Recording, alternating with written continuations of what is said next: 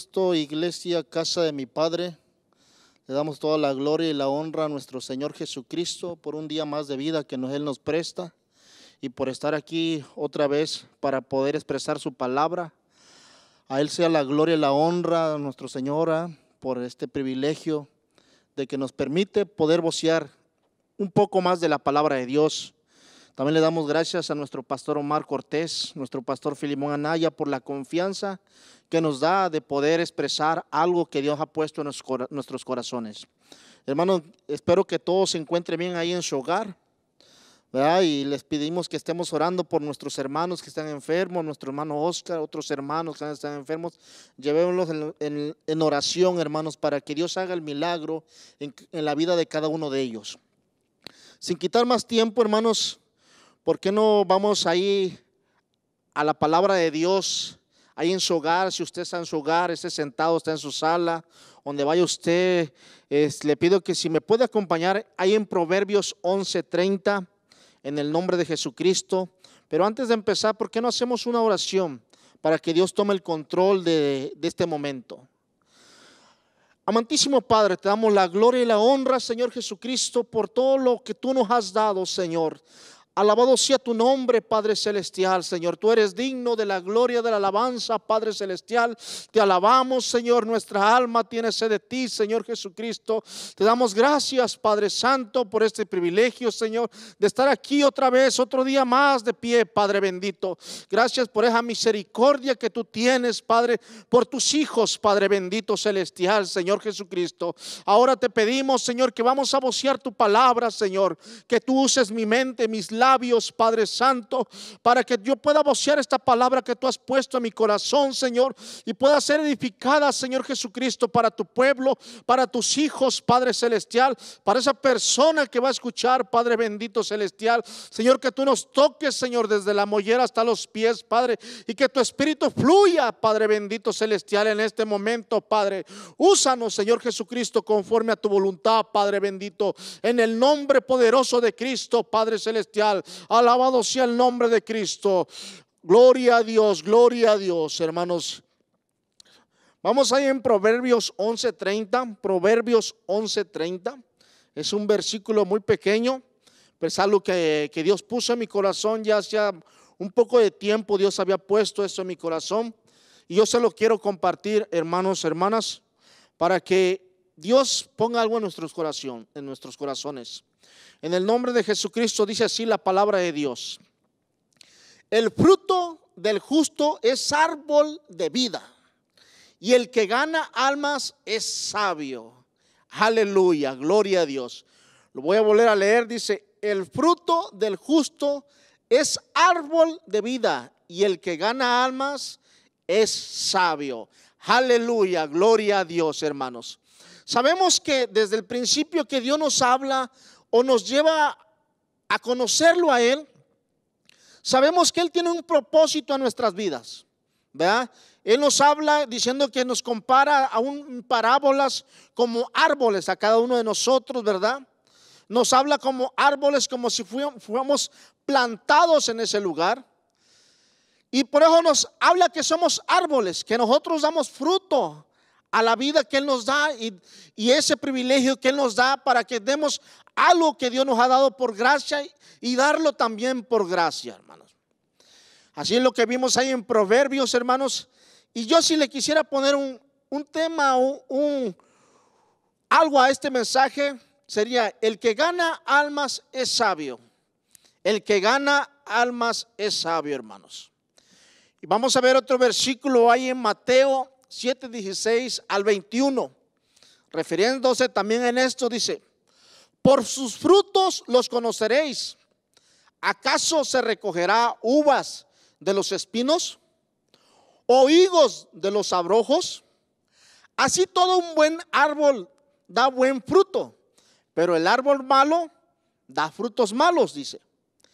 No puede el buen árbol dar malos frutos, ni el árbol malo dar frutos buenos. Todo árbol que no da buen fruto es cortado y echado al fuego, dice. Así que por sus frutos los conoceréis. Así dice Jesús, hermanos, que nosotros somos árboles plantados en su misericordia de Él. Somos árboles plantados ante Él, somos injertados ante Jesús, porque sabemos que Jesús vino a su pueblo, a los suyos. nosotros no teníamos parte en esta situación, pero por su grande misericordia, que Él tuvo misericordia por cada uno de nosotros, por mí, por ti, ahora hemos conocido a nuestro Salvador.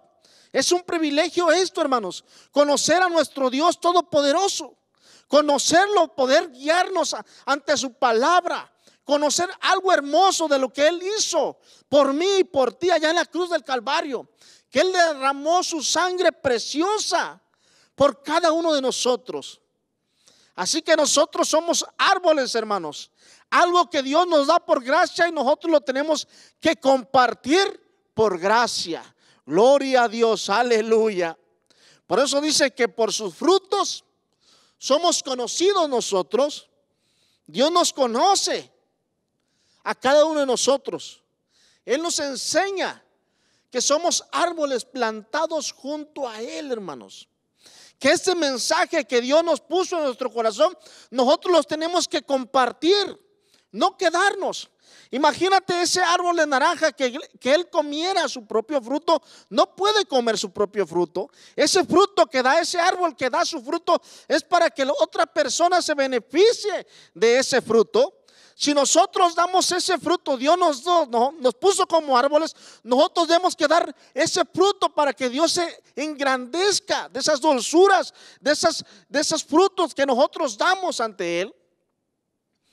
También dice en Mateo 28, 18 del 19 al 20, dice, y Jesús se acercó y les habló diciendo, toda potestad es dada en los cielos y en la tierra.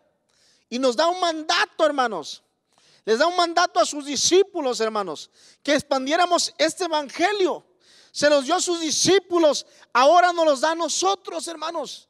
Este evangelio tenemos que dar ese fruto a nuestro Señor Jesucristo, expander lo que Dios nos ha dado. Y les dice a sus, a sus discípulos, por tanto, ir y hacer discípulos a todas las naciones, no dice que nada más aquí, les dijo que a todas las naciones. Y este evangelio se sigue expandiendo en todas las personas, en todo el mundo, a todo idioma, a, todo lengua, a toda lengua, hermanos.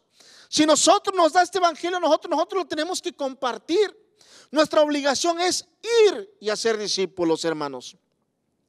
El año pasado nos, nos, espantó tanto esta pandemia que tal vez nos quedamos como hipnotizados en este momento, hermanos porque nunca habíamos experimentado todo lo que había pasado en el año pasado. Pero ahora empezamos un año, un año nuevo, hermanos. Nos tenemos que levantar en este año para poder hacer esos discípulos que nosotros tenemos que hacer. Hacer esas personas que conozcan a nuestro Señor Jesucristo que conozcan la salvación, que conozcan que hay un Dios milagroso, que hay un Dios que salva, que hay un Dios que cura, que hay un Dios que levanta, que hay un Dios que cura el alcoholismo, que hay un Dios que saca al drogadicto, que hay un Dios que levanta enfermos y que levanta muertos en estos días. Alabado sea el nombre de Cristo. Eso es lo que tenemos que dar. Por eso Jesús le decía a sus discípulos, ir y predicar el Evangelio, dice enseñándoles, dice, que guarden todas estas cosas, dice. Y después les dice a sus discípulos, he aquí que dice, yo estoy con vosotros todos los días hasta el fin del mundo.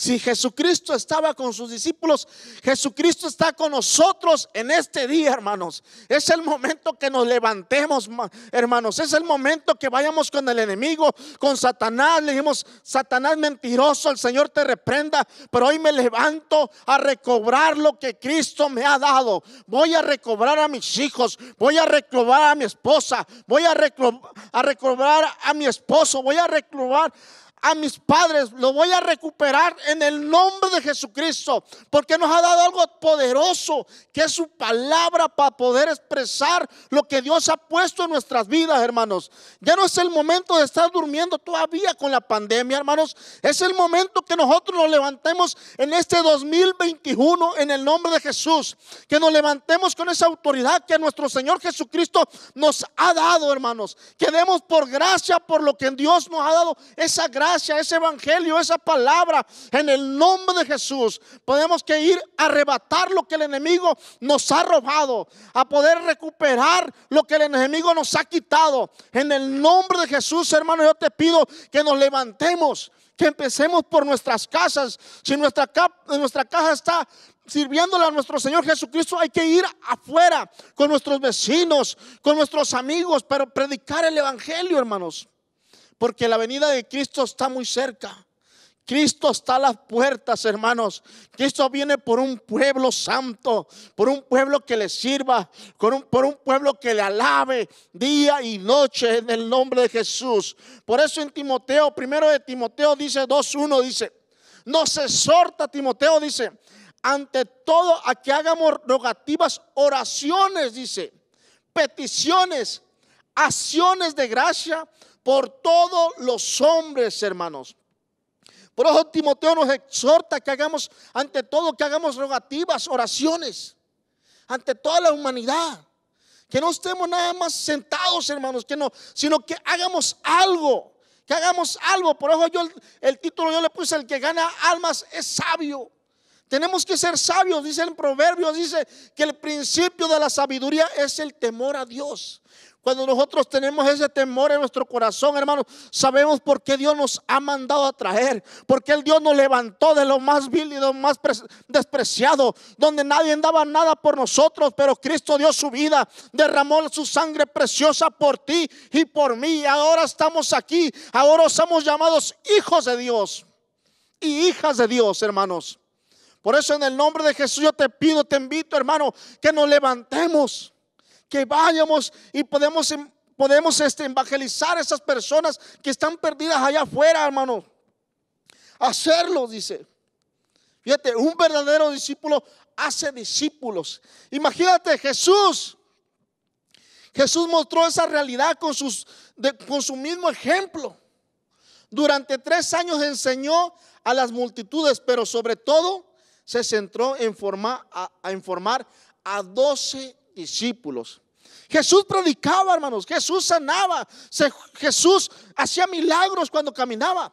Pero uno de sus, de sus metas era formar a doce hombres, hermanos, que pudieran evangelizar, que pudieran decir los milagros que habían, habían visto estos hombres, que, que pudieran expander el evangelio, hermanos. Y a través de ellos nosotros podemos experimentar ese evangelio esa palabra, hermanos, porque ellos no se quedaron nada más ahí. Ellos fueron, dice, y se expandieron. Pero sobre una de las cosas, como dice Hechos 1.8, que recibieron el poder, que fue el Espíritu Santo. Y fueron llenos, ellos fueron llenos de esa presencia, hermanos.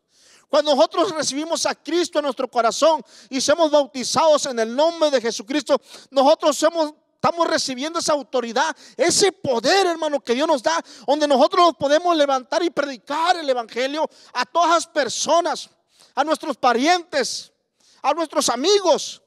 Tenemos esa autoridad de predicar el Evangelio, hermanos. Qué hermoso es predicar lo que Dios ha hecho en nuestras vidas, hermanos. Qué hermoso es decir ese testimonio, lo que hizo en mi vida, lo que hizo mi esposa, lo que está haciendo en mis hijos, lo que está haciendo en mi familia, lo que está haciendo en mis nietos, en mis, nietos, en mis bisnietos, hermanos. Es algo hermoso, hermanos, que nosotros estemos viendo esas maravillas, esa hermosura que Dios nos da. ¿Verdad? Es algo hermoso, hermanos. Por eso dice que el verdadero discípulo hace discípulos. Y el que gana almas es sabio, hermanos. Somos sabios porque sabemos a qué nos ha llamado Cristo. Cristo no nos llamó nada más para que estemos sentados, hermanos. Y que vengamos el, domingo a escuchar la palabra y salgamos. Cristo nos llamó para ser más discípulos, para poder expresar su palabra. a esas personas que están perdidas, hermanos. A eso nos llamó Cristo. A eso nos llamó. A eso nos trajo a este lugar, hermanos. Para poder dar ese testimonio a las personas, dice. Por eso en Lucas 19:10 dice, porque el Hijo del Hombre no vino a buscar, vino a buscar lo que se había, lo que se había perdido, dice, a salvar a toda la humanidad. Porque el Hijo del Hombre vino a buscar y a salvar lo que se había perdido, hermanos. ¿Cuántos de nosotros no estábamos perdidos, hermanos, en este mundo? Tal vez éramos unos alcohólicos, unos drogadictos. Tal vez nuestro matrimonio se iba a destruir. Pero Cristo en su grande misericordia nos levanta, nos restaura. Te restaura a ti, te restaura a tus hijos, restaura tu matrimonio, restaura tu casa. Y no es posible que nosotros nos quedemos callados lo que Dios había hecho en nuestras vidas. Tenemos que decirle, hermanos, a esas personas lo que Dios ha hecho, lo que Dios hizo en mi vida. Tenemos que seguir adelante con esa palabra de Dios, hermano. Estamos empezando un año nuevecito, hermano. Un año que podemos hacer cosas grandes. Que seamos ese árbol de fruto, hermanos. Esa grande comisión que nos ha dado a Dios, dice. ¿Acaso ahí en tu lugar te preguntarás, dice, ¿y cómo puedo hacer eso yo? ¿Cómo lo puedo hacer?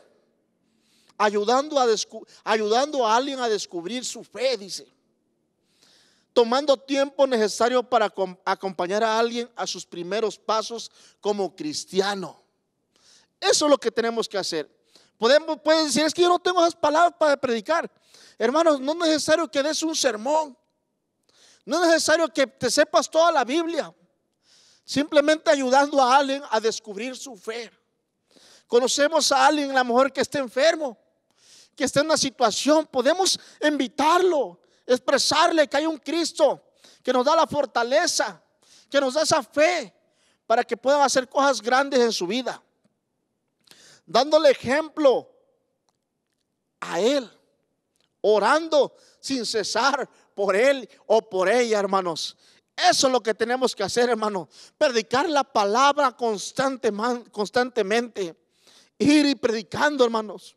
Que nuestros labios no se cierren que nuestra lengua no quede pegada a nuestro palpitar, hermanos, sino que se mueva en expresar de las maravillas que ha hecho en nuestras vidas, hermanos, nuestro Señor Jesucristo. Por eso ahí en Isaías 55, 11 al 12 dice, así será mi palabra que sale de mi boca, no volverá a mí vacía sino que hará lo que yo quiera, dice, y será prosperada en, en aquellos para que se, los que le envíe, dice. El 12, porque con alegría saldréis y con paz seréis vueltos, dice. Los montes, los collados levantarán canciones delante de vosotros y todos los árboles del campo darán palmadas y aplausos. Aleluya, hermanos. Por eso cuando nosotros declaramos esa palabra, hermano, esa palabra no llega vacía. No regresa vacía, hermanos. Va con un propósito a esa persona. Cuando nosotros declaramos una palabra, hermanos, va con un propósito y regresa con fruto, hermanos. Y no somos esos árboles, hermanos, llenos de frutos para nuestro Señor Jesucristo. Por eso dice en Lucas 15, 10, dice, así digo os, así digo os, así os digo, que hay gozo delante de los ángeles de Dios por un pecador que se arrepiente, hermanos. Cuando nosotros, fíjate, cuando nosotros vamos y expresamos esa palabra y esa persona cree en la palabra, tiene fe, le llega a su corazón, es restaurada, hermanos. Y cuando llega a, las aguas bautismales, se acepta a Cristo en su corazón, que hay un gozo en nuestro corazón, hermanos. Nuestro, nuestro, nuestro sentir se alegra. Porque una persona llega ante ante la presencia de Dios esa persona se arrepiente de sus pecados y dice la Biblia que hay, que hay gozo delante de los ángeles de Dios por un pecador que se arrepiente, hermanos. Si en el cielo hay alegría, ¿cuánto más nosotros cuando vemos que alguien se arrepiente de sus pecados? Gloria a Dios, hermanos. Es algo hermoso, hermanos. Cuando ves a esa persona que tú la empiezas a evangelizar, le empiezas a expresar la palabra de Dios, dice testimonio de tu vida, lo que Dios hizo, y esa persona cree, Dios la toca. Por eso el salmista decía ahí en 51, 51, 12 al 17, vuélveme el gozo de tu salvación, espíritu noble, tu espíritu noble me sustenta, dice. Entonces enseñaré a los transgresores tu camino y los pecadores se convertirán a ti, dice. Los pecadores se convertirán a Cristo. Aleluya. Líbrame, dice, líbrame del homicida, oh Dios, Dios de mi salvación. Cantará mi lengua tu justicia, dice. Señor, abre mis labios, publicaré mi boca tu alabanza, porque no quieres sacrificios que yo lo daría no quieres holocaustos. Los sacrificios de Dios son el espíritu quebrantado al corazón constrito y humillado y no lo, no lo desprecia Dios, hermanos. Gloria a Dios. Aleluya. Imagínate, hermanos, lo que Dios hace. Cuando vamos y predicamos esa palabra, dice, envuélveme el gozo de tu salvación, dice, y tu espíritu noble me sustente. Entonces enseñaré a mis transgresores tu camino, dice, y los pecadores se convertirán a ti. Gloria a Dios, hermanos. Eso es algo hermoso, hermanos, que Dios nos pone en nuestro, en nuestro sentir. Por eso es algo hermoso. El que gana almas es sabio, hermanos. Porque sabemos a qué nos trajo Cristo, a qué nos llamó de aquel lugar que nos trajo, hermanos. ¿A qué quiso, quiso Dios que estuviéramos en este momento, en este año, en este mes, para que pudiéramos expresar su alabanza a nuestro Señor Jesucristo? Que podamos expresar esa planitud de nuestro Señor Jesucristo. Que podamos enseñarle a las personas lo que Dios ha hecho en nuestras vidas, lo que ha hecho cada uno de nosotros. Imagínate, dice, el que gana almas es sabio, dice. Una persona de oración. Ese es el que gana almas, hermanos. Trabaja en lugares correctos, donde Dios nos pone, lugares donde hay pecadores, hermanos. Trabaja en los tiempos correctos, dice. Tiene motivación pura. Ese es el, que gana almas, hermanos. Un hombre de oración. Un hombre que busca de Dios día tras día, dice. A veces puede decir, hermano, pero yo no, yo, ¿cómo puedo tener sabiduría para poder predicar la palabra de Dios? Ahí dice en Santiago 3:17, hermano. Pero la sabiduría que es de lo alto es primera, primeramente pura, después pacífica, amable, benigna, llena de misericordia y de buenos frutos son incertidumbres y hipocresías, dice. Pero esa es la sabiduría, dice, que viene de lo alto, dice hermanos, que es pura, pacífica y amable. Esa es la sabiduría que Dios nos da para poder expresar esa palabra, ese evangelio, hermanos. Porque a veces Dios te puede poner una persona que sea enojona, que no le gusta que le hablen de Dios, hermanos. ¿Y cómo, cómo le podemos llegar nosotros a esa palabra? Poder expresar ese evangelio a esa persona, hermanos. Por tenemos que estar constantes en la palabra de Dios, hermanos. Que Dios nos dé esa sabiduría, ese entendimiento. Que estemos en nuestro, en nuestro trabajo y podamos predicar el Evangelio, hermanos. Que no nos avergoncemos de lo que somos nosotros sino que estemos contentos, hermanos, de expresar esas bendiciones que Dios nos da. Así como dijo Pablo ahí en Romanos 1.16, porque no me avergüenzo del Evangelio, porque es poder de Dios para salvación a todo aquel que cree, dice. Es poder de Dios, hermanos, para que todo, para todo aquel que él cree en la palabra de Dios, es un poder, hermano. Nosotros no tenemos que avergonzar del Evangelio, hermanos. Tenemos que seguir adelante lo que Dios nos da. Nosotros tenemos que sembrar tenemos que regar, tenemos que ir a abonar esa semilla, hermanos, para que crezca, hermanos, la palabra de Dios. Así como dijo ahí en Corintios 3:16, 3:6 al 8 dice, "Yo planté, Apolo regó, pero el crecimiento lo ha dado Dios." Así que ni el que planta es algo, ni el que riega, sino que Dios que da es el que da el crecimiento, dice. El que planta y el que riega es una misma cosa, aunque cada uno recibirá su recompensa conforme a su labor, hermanos. Gloria a Dios, hermanos. Así que si tú riegas, hermanos, y tú plantas, es lo mismo, hermanos. Dios da el crecimiento. Dios da esa sabiduría, ese entendimiento para poder ir y ganar almas. El que gana almas es sabio. Aleluya, gloria a Dios, hermanos. No sé si tú te gozas con esta palabra, hermano, pero Dios me la dio al principio de este año, que tenemos que levantarnos y expander su evangelio. No nomás ahí en nuestra casa, hermanos, sino expanderla más allá de nuestros límites, hermanos. Más allá del trabajo, más allá de nuestros vecinos, más allá de fuera de nuestra comunidad. Más allá, tenemos que ir y ganar almas, hermanos. Estamos empezando un, año hermosísimo, hermanos, que Dios va a derramar sus bendiciones este año.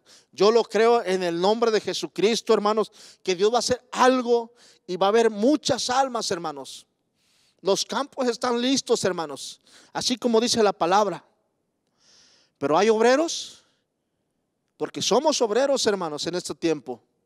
Los campos están listos nomás para ir a recoger lo que Dios ya ha plantado, lo que Dios ha puesto. Nosotros tenemos que ir, ir y recoger ese fruto para nuestro Señor Jesucristo. Gloria a Dios, hermanos. Pero hermanos, este es mi mensaje que Dios ha puesto en mi corazón y yo los animo, hermanos, que sigamos adelante, hermanos, con esta palabra, que sigamos fuertes con el Evangelio de Dios, que no desmayemos, hermanos, sino que Dios nos ponga esa fortaleza a cada uno de nosotros para expander su Evangelio, hermanos. Que no, que no venga el enemigo a taparnos la boca y no poder hablar, hermanos sino que nos, nos, paremos firmes en el nombre de Jesucristo para expander su evangelio más allá donde el enemigo no piensa que piensa que no vamos a llegar. En el nombre de Jesús, hermanos, nos tenemos que levantar en este año tenemos que expander el Evangelio en el nombre de Jesús. Aleluya, gloria a Dios. Hermanos, pues Dios me los bendiga, hermanos. Y vamos a hacer una oración, hermanos, para despedirnos en el nombre de Jesús, para que Dios nos ponga ese sentir en nuestro corazón. Así, hermano, incline su rostro ahí donde está. Amantísimo Padre, bendito eres tú sobre todas las cosas, Padre Celestial. Te damos la gloria y la honra, Señor Jesús, por ese privilegio, Señor, que tú dices en la cruz del Calvario, Señor. Y tú dices tu vida por mí, Padre bendito. Tú derramaste tu sangre preciosa, Señor. Y tú me escogiste, Señor, de lo más vil y de lo más despreciado, Padre Celestial, Señor. Tú me has puesto, Señor, en este lugar, Padre bendito, para poder hablar tu palabra, Señor. Para poder expresar tu palabra, Señor expresar tus maravillas que tú has hecho en mi vida, Padre.